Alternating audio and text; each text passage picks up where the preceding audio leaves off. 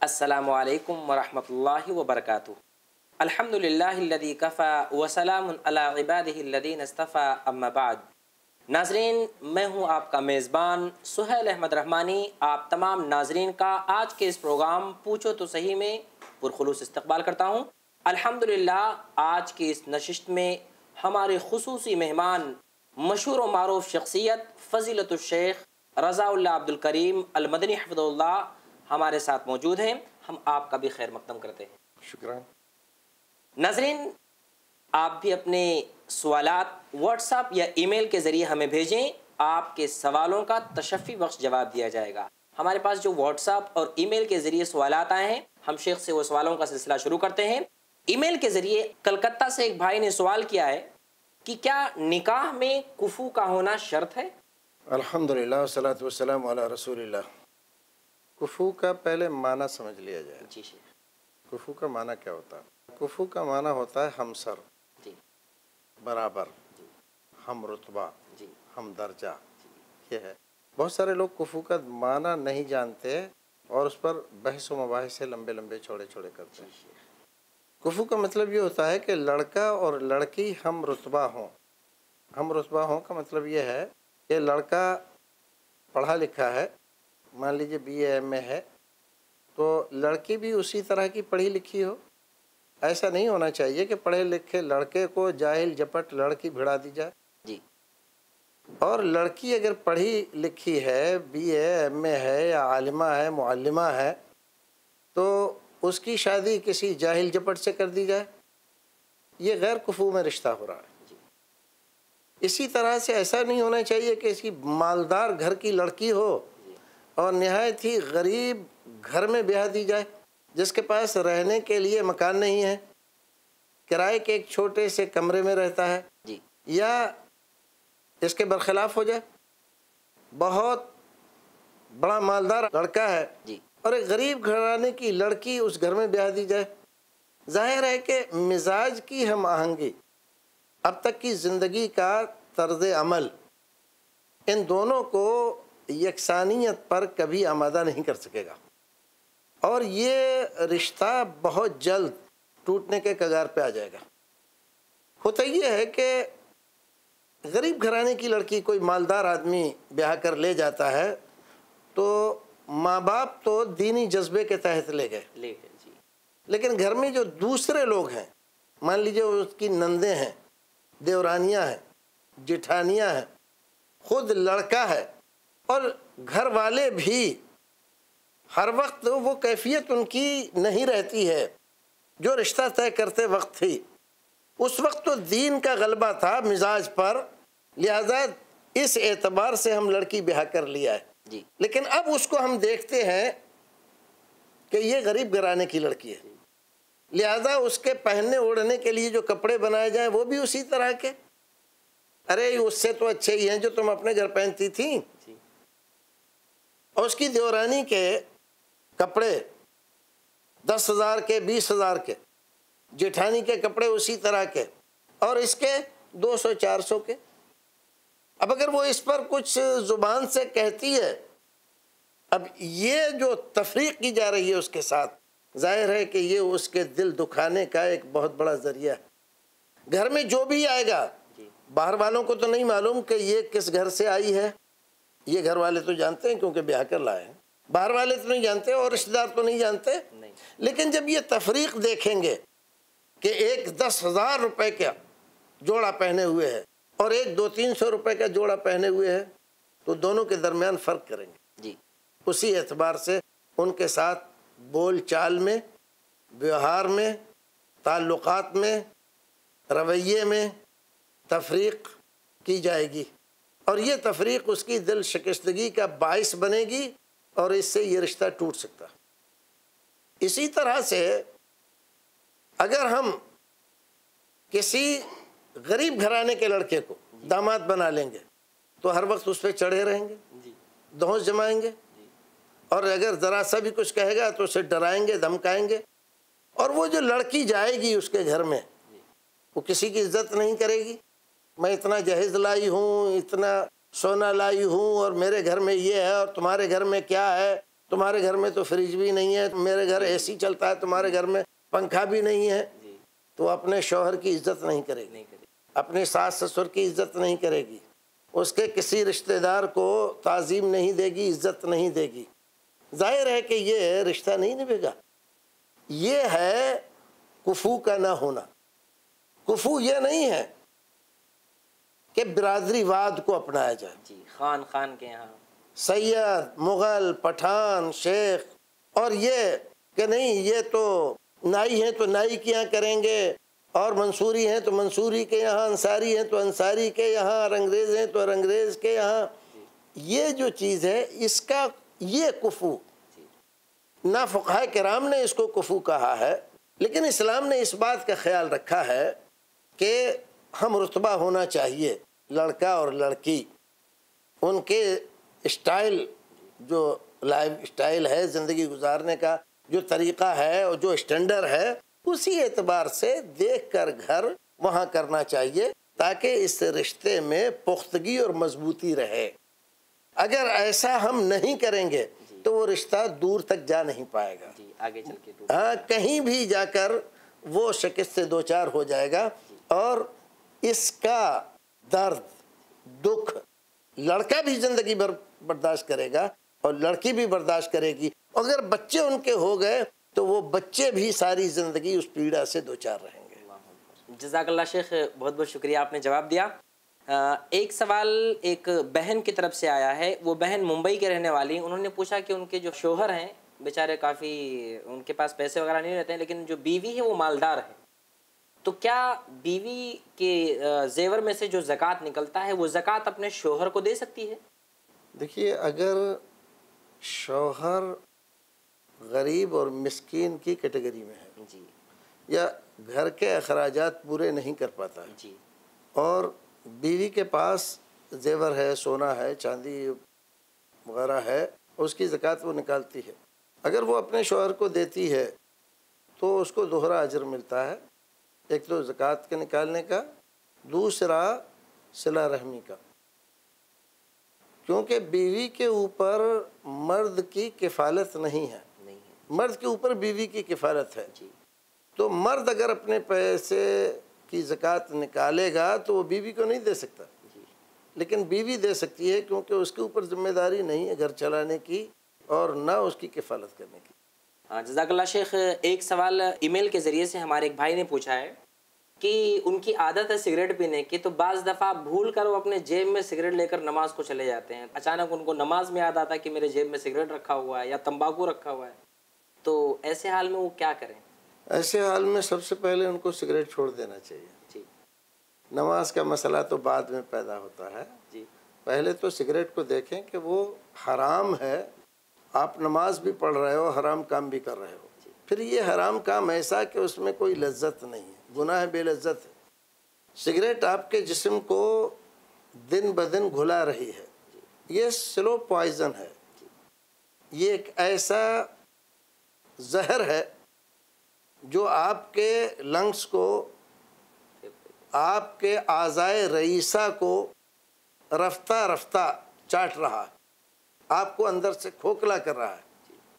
आपने शुरू किया होगा फ़ैशन में। शुरू किया होगा यार दोस्तों की वजह से, या किसी भी वजह से, लेकिन वो आदत आपके लिए मुसीबत बन गई और आप आदत के ग़ुलाम बन गए। और एक आदमी के लिए ख़ास तौर से मर्द के लिए, किसी का ग़ुलाम बन जाना, ये कोई फजीलत की बात नहीं। और न ये तारीफ़ की बात है, बल्कि ये तो बड़ी शर्मिंदगी की बात है कि अल्लाह रब्बुल इज़्ज़त ने तो हमें आज़ाद पैदा किया था और हम ग़ुलाम बन गए। और ग़ुलाम भी एक ऐसी चीज़ का बन गए कि वो हमें कभी भिखारी बना देती है कभी फ़कीर बना देती है कभी छोटे छोटे लोगों के सामने हाथ फैलाने पर मजबूर कर देती कर है। देती है। हमने देखा है बड़े बड़े लोगों को जिनके यहाँ कई कई लोग काम करते हैं जिनको वो तनख्वाहें देते हैं। जी। कभी इत्तेफाक से सफ़र में उनके सिगरेट की डिब्बी छूट गई। छूट गई। भूल गए नहीं खरीद सके या कहीं रह गई। अब तलब लग रही है उनको। तो देखा है कि लोगों से सिगरेट मांग रहे हैं। बिल्कुल ऐसे ही जैसे फ़कीर लोग मानते लोगों को ताज्जुब होता है सूटेड बूटेड आदमी। लिबास से तो लग रहा है कि काफ़ी मालदार आदमी है। लेकिन आदात से इतना घटिया आदमी है कि मंगता लग रहा है। ऐसे में आप अपने आप को देखिए कि आप मंगता बनकर ज़िंदगी गुजारना बेहतर समझेंगे। हमने देखा कि कभी कभी बड़े लोग नहायत साफ़ शफाफ मलमल का कुर्ता पहने नहायत कीमती धोती बांधे आँखों पे चश्मा लगाए और बैठे हुए हैं और एक बेचारे मजदूर ने जेब से छोटी सी पुड़िया निकाली, उसमें से चूना निकाला, एक दूसरी पुड़िया से खैनी निकाली और उसने मला और उसके बाद झाड़ा और उसके बाद उसने हाथ अपने साथी की तरफ़ बढ़ाया। तो नेताजी ने भी उसमें से एक चुटकी भर ली। डूब मरने का मकाम है। आप तो इन लोगों को बादाम खिलाते, चिलगोजे खिलाते, आप इनको और दूसरे मेवे खिलाते, वो बेहतर था। न ये कि उसकी खैनी में से चुटकी भर भर के आप अपना गुजारा कर रहे हैं। ये बड़ी शर्म की बात बहुत, है। बहुत तो हमारे भाई को इससे पहले कि वो ये पूछें कि इसका क्या मसला है सिगरेट फ़ौरन छोड़ देना चाहिए। न रहे बाँस न बजे बांसुरी सिगरेट छोड़ देंगे तो मस्जिद में न जाएगी न जेब में रहेगी। बहुत बहुत शुक्रिया शेख माजरत के साथ आपको रोकना चाहता हूँ क्योंकि नाजरीन वक्त हो रहा है एक छोटे से वक्फे का। वक्फे के बाद फिर हम आपके सामने होंगे। असल वरहमल वर्का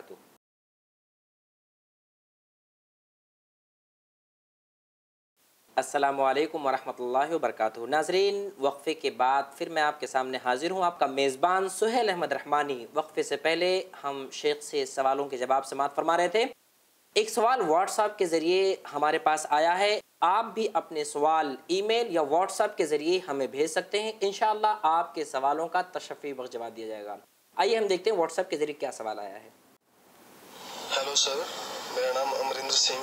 मैं रांची झारखंड से बोल रहा हूँ। मेरा सवाल ये है कि क्या मैं मस्जिद में जाकर नमाज़ पढ़ सकता जी शेख सवाल आपने सुना हो भाई ने पूछा। देखिए मस्जिद में जाकर क्या मैं नमाज़ पढ़ सकता हूँ? जी। आ, सवाल मुकम्मल नहीं है। आ, नमाज़ पढ़ सकता हूँ का क्या मतलब है? मतलब ये है कि जो ऐसे मुसलमान नमाज़ पढ़ते हैं वैसे पढ़ सकता हूँ? या सवाल यह है कि जो ऐसे मैं अपने घर में पूजा पाठ करता हूँ उसी तरह की इबादत मैं आपकी मस्जिद में जाकर कर सकता हूँ? ये दो माना उसके होते हैं। अब अगर माना यह है कि मुसलमान नमाज़ पढ़ते हैं मैं भी जाकर नमाज़ पढ़ता हूँ। तो आप जा तो सकते फॉर्मलिटी कर सकते हैं। लेकिन इससे आपको कुछ फ़ायदा नहीं होगा। सिवाय उठक बैठक के। और नमाज़ एक बहुत बड़ी इबादत है। जो आपकी जिस्मानी रूहानी दोनों तरह की सेहतमंदी का बहुत बड़ा सामान फराम कर नमाज़ पढ़ने से आपको जहाँ जिस्मानी तौर पर बहुत सारे फ़ायदे होते हैं और बाज़ ने, बाज़ डॉक्टर्स ने नमाज़ के जो हरकत हैं, क़याम, रुकू, सजदा, हाथ उठाना, सजदे में ख़ास कैफियत से रहना इनके हमारे जिसम पर क्या असरात मरतब होते हैं? इससे पहले वज़ू वज़ू जब हम करते हैं नमाज़ पढ़ने के लिए पाकि हासिल करते हैं वज़ू के क्या फ़वाद हैं? हाथ धोने से कोहनी तक हाथ धोने से कानों का मसा करने से चेहरे पर पानी डालने से आँख कान मुँह, दांत ज़ुबान इन तमाम चीज़ों की सफ़ाई से क्या फ़ायदे हमें मिलते हैं? जिसमानी तौर पर मेडिकल साइंस के नुक़ नज़र से। वो इतने ज़्यादा हैं कि एक आदमी अगर तसब से दूर हट के उनको कभी सुनेगा तो इस्लाम की हक्कानियत को माने बगैर नहीं रह सकते। ये बातें आजकल मेडिकल साइंस बता रहा है। मेडिकल साइंस ने आज बड़ी रिसर्च के बाद बड़े बड़े मशीनें बनाने के बाद इन चीज़ों को मालूम किया है। जबकि रसूल अक्रम सल्लल्लाहु ने आज से 1400 साल से जायद अरसा पहले मेडिकल साइंस का कोई तस्वुर नहीं था।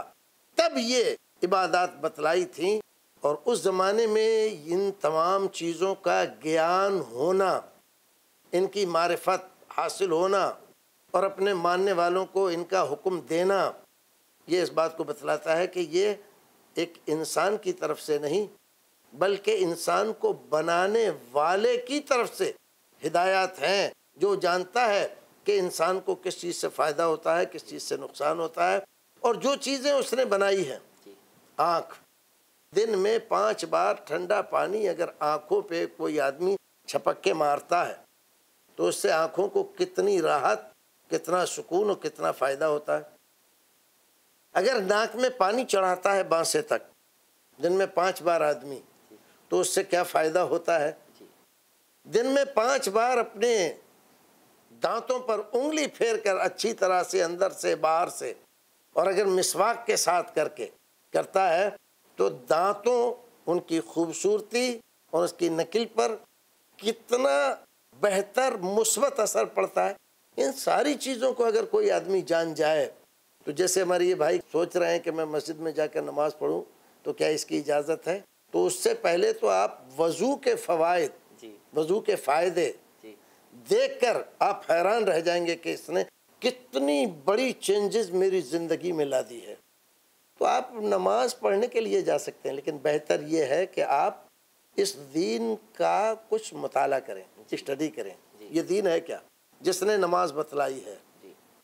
और नमाज़ हमें किस तरह से आपस में मेल मोहब्बत के साथ रहने की तलकीन करती है। जब हम खड़े होते हैं एक सफ़ में तो किस कदर मोहब्बत पैदा होती है? छोटे बड़े का फ़र्क गरीब अमीर का फ़र्क काले गोरे का फ़र्क ये जो सब है बिरादरीवाद का फ़र्क इस्लाम ने इन तमाम को मिटाकर एक सफ़ में एक बादशाह खड़ा हुआ है सफ़ में और एक मामूली सा गरीब आदमी मेहनत मजदूरी करने वाला अगर पहुँच गया है और उसके बराबर में खड़ा हो रहा है। जी। उसको ये जुरत और हिम्मत नहीं है कि उससे ये कह दे कह रहे तू गरीब आदमी उधर जाके खड़ा हो। ऐसा नहीं कर सकता। और इससे जो यकसानियत पैदा होती है जो मोहब्बत पैदा होती है वो एक बहुत अजीम पैगाम है। हाँ जजाकल्ला शेख एक सवाल बहराइच से आया है। एक भाई ने पूछा है उनका ये पूछना है कि क्या जोहा और इशराक की नमाज़ में कुछ फ़र्क है या दोनों एक ही नमाज़ है? दोहा और इशराक में एक एतबार से थोड़ा सा फ़र्क है। जी। इशराक शुरू से बना है जी। और दोहा चाश्त के वक्त को कहते हैं। इसी में एक और नमाज़ है जिसको आदिस में ज़िक्र किया गया है। अव्वाबीन। तो सलातुलव्वाबीन और सलातुलव्वाबीन का जो वक्त फरमाया गया कि सलातुलव्वाबीन ही न तरमजुलफ़िसाल ऊँट के बच्चे के जब पैर जलने लगे यानी रेत इतनी गर्म हो जाए कि बच्चे के पैर जलने लगे। बच्चे के कहा? बड़े ऊँट के नहीं, नहीं बच्चे के। बच्चे के। क्योंकि बच्चे के पैर में अभी खुर इतने मज़बूत नहीं है कि वो उस हरारत को बर्दाश्त कर सके। तो अब देखिए ये तसलसल है एक तरह से। फजर की नमाज़ पढ़ी और आप बैठे रहे। अब शुरू हुआ। सूरज निकल के थोड़ा सा निकला तो ये इशराक हो गया। अब उसके बाद आप बैठे रहे तो ये दोहा हो गया जिसको फारसी में चाश्त कहते ये जो नाश्ते का वक्त है आप। अब इससे थोड़ा सा और बढ़ा तो ये अब्बाबीन हो गया। ये इस तरह से आप जहर तक एक तसलसल है इबादत का क्योंकि ये सबसे ज़्यादा वक्त है जो इबादत से फारिग रहता है। फजर से जहर तक का वक्त। उसके बाद जहर आपने पढ़ी उसके बाद असर पढ़ ली उसके बाद मगरब पढ़ ली उसके बाद ईशा पढ़ ली। देखिए थोड़े थोड़े वक्फे के बाद है। सबसे ज़्यादा वक्फा इन दो नमाज़ों में है। और इन दो नमाज़ों के दरमियान में ये नमाजें इस्तेबाब के दर्जे में रख कर बतलाई गई हैं कि जो आदमी पढ़ेगा उसको बड़ा सवाब मिलेगा लाजिम और ज़रूरी नहीं। जजाकल्ला शेख बहुत बहुत शुक्रिया। एक सवाल व्हाट्सएप के ज़रिए हमारे एक भाई ने किया है उसे हम देखते हैं। एक सवाल है मौलाना साहब से। मेरा नाम मोहम्मद उस्मान है। शेख हम लोग शादी में जाते हैं। वहाँ पर शेख औरतें इतना सारा मेकअप लगाती हैं मुसलमान औरतें और इतना सारा सेंट लगाती हैं। तो ये सेंट लगाना और इतर लगाना सही है शेख? बताएँ इसके बारे में। जी शेख आपने सवाल सुने? हाँ सवाल सुना है। जी। लेकिन असल में देखा जाए तो औरतें इतना सारा मेकअप और सेंट लगा के जाती ही इसलिए हैं कि आप लोग वहाँ जाते हैं आपको दिखाने के लिए। जी शेख अगर आप जाना कम करें जी। तो शायद उनका मेकअप भी थोड़ा सा कम हो जाए। जी। ज़ाहिर है शरीयत में इसकी इजाज़त तो नहीं दी जा सकती। और ना शरीयत इसके पक्ष में है जी। कि औरतें बनाओ श्रृंगार करके निकलें। असल में कजिए को उलट दिया गया जी। शरीयत ने हुक्म यह दिया था कि शौहर के लिए औरत बनाओ श्रृंगार करे अच्छा सा मेकअप करे उसको अच्छी लगे ताकि बाहर की औरतों पर वो गलत नज़र न डाले। इसलिए उसको इजाज़त दी थी कि आप बनाओ श्रृंगार कर सकते हैं अच्छे अंदाज में अच्छे और बेहतर अंदाज में अच्छे कपड़े पहने अच्छे जेवर पहने अच्छा मेकअप करें ताकि आपके शौहर का दिल आप तक बंधा रहे। वो इधर उधर ना भटके। लेकिन अब कजिया उलट दिया औरतों ने। घर में तो वो यूँ ही मलिश बनकर रहती है। सर झाड़ मुँह पहाड़ न बाल कढ़े हुए हैं न सर में तेल लगा हुआ है न कपड़े ही ढंग के हैं। तो यहाँ तो ऐसे ही अब कभी सुन लिया शाम में दावत है फला जगह। अब सोलह श्रृंगार करने के लिए बैठी। भाई वहाँ किसको दिखाने जा रही हो? जिसको दिखाना चाहिए था उस बेचारे को तो यहाँ से घर से तुमने भगा दिया वो इधर उधर अपनी नज़रें सेक रहा है। और जहाँ पर तुम्हें श्रृंगार नहीं करना चाहिए था वहाँ श्रृंगार करके जा रही हो। किसके लिए जा रही हो? मना है। असल में दोनों को अपनी अपनी रविश बदलनी चाहिए मर्दों को भी। जी। अगर मर्द देखना छोड़ दें इनको जी। तो ये मेकअप करना छोड़ दें। जी। वो जाती ही दिखाने के लिए है। मर्द देखना छोड़ देंगे। तो मेकअप किसके लिए करेंगी? इसी के लिए तो वो देखने वाले ही नहीं रहेंगे। जी। तो किसके लिए करेंगी? फिर और अगर औरतें अपने शौहर के लिए मेकअप करने लगें तो फिर उन्हें दूसरों के लिए करने की ज़रूरत ही पेश नहीं आएगी। जी तो अब वहाँ पर जाती हैं बहुत सारी औरतें रहती हैं। हर औरत तमाम औरतों से अच्छी बनकर संवर कर जाने की कोशिश करती है ताकि मैं सबसे अच्छी दिखाई दूँ। तमाम दुनिया आपको अच्छा कहे खूबसूरत कहे इसकी कोई ज़रूरत नहीं कोई कीमत ही नहीं है इसकी। आपका शौहर आपको सबसे खूबसूरत कहे माने ये है असल चीज़। आपकी ज़िंदगी के लिए आपकी ज़िंदगी के सुकून के लिए आपके घर के अमन व चैन के लिए। ये है असल उसूल। आप शौहर के लिए ये सब कुछ कीजिए। बहुत बहुत शुक्रिया शेख आपने हमारे सवालों के जवाब दिए। अल्लाह तबारक ताली आपको जजाय खैर अदा फरमाए। नाजरीन, वक्त हमें इजाज़त नहीं देता है कि अपने प्रोग्राम को हम आगे बढ़ाएँ। हमारे पास और भी बड़े दिलचस्प सवालात हैं। इन अगली नशिस्त में उन सवालों के जवाब हम शेख मोहतरम से लेंगे।